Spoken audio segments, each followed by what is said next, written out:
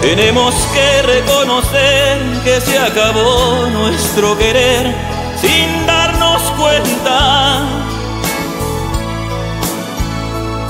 que no supimos retener ni dar valor a aquel amor que ahora se ausenta.